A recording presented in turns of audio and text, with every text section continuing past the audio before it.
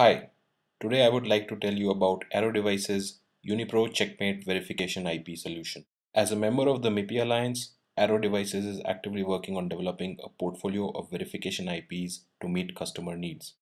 As part of our Unipro Checkmate Verification IP, not only do we provide a Unipro and M-PHY BFM, but also provide a complete test bench along with spec indexed compliance and constrained random test suites.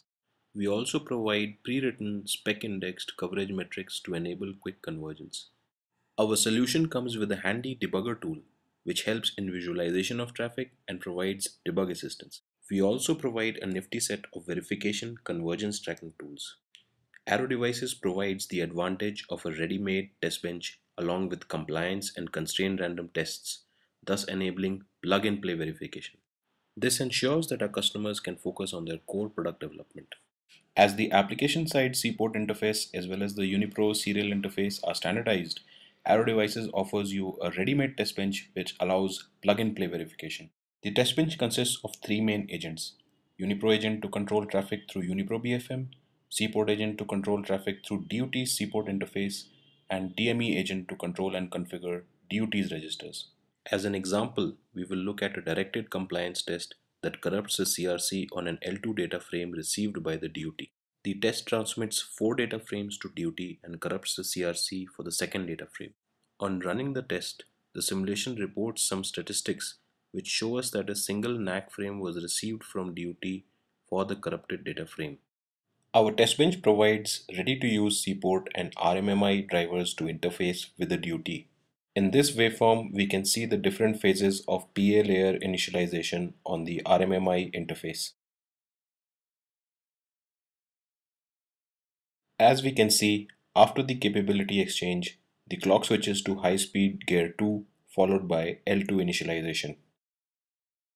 Subsequently, at the end of the waveform, we can see a message being received on the CPORT interface of the DUT. Let's spend a minute on the log file generated by the test. At the top, the log file summarizes the DME attribute settings for each layer. You can see transport layer L4 config, network layer L3 config, data link layer L2 config, and then the physical adapter layer L1.5 config. The log messages also show the NAC corresponding to the corrupted data frame, followed by the AFCs for both traffic classes, and then the retransmitted data frame. Now let's have a look at how the Unipro debugger helps in visualization of traffic for this test.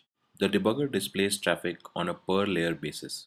Looking at properties of the second data frame received by DUT, we see that an error is injected on this data frame.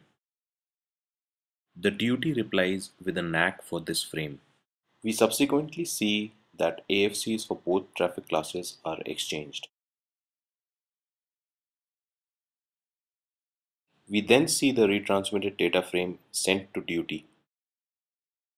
Our constrained random test suite complements the directed tests to increase verification coverage. Here we are showing a multi-CPORT test with random traffic and flow control delays. Error injection can be enabled for the same test with the addition of a simple command line argument. Our tracking tools collect regression data and present it in an easy to understand format which allows leaders to drive verification convergence. Here you see a spec index test plan with per layer pass-fail data. Another convergence metric is coverage we report per layer spec indexed coverage tracking data. Coverage holes are easy to spot and fix. Our BFM has been architected with the complete test plan, checks, and coverage plan in mind. In fact, we start BFM design only after defining the test plan and coverage plan almost to completion. Each layer is a separate BFM component which allows the possibility of per layer test benches if so desired.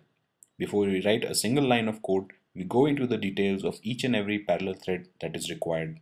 We define all APIs, synchronization, and interactions between these threads as part of our BFM microarchitecture definition effort before starting code implementation. We believe that by doing this, we ensure that the BFM architecture will stand the test of time.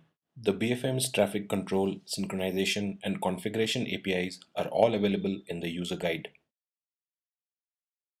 Thanks for your interest and please contact us for customer referrals or for evaluating our Unipro Checkmate verification IP solution.